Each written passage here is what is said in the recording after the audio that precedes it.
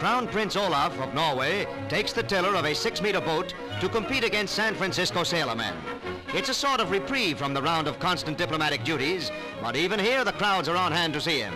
His opponents luff along the starting line, but the Prince takes an early lead, showing keen sailing sense and a steady hand at the tiller, with his sails hard into the wind.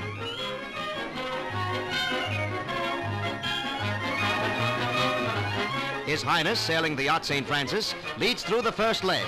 And as the boats round the marker buoy, the spinnakers take the full wind for the run to the finish line.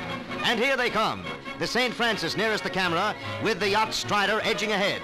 And as Strider sails home with victory, a royal salutation comes from the loser, Norway's sporting crown prince.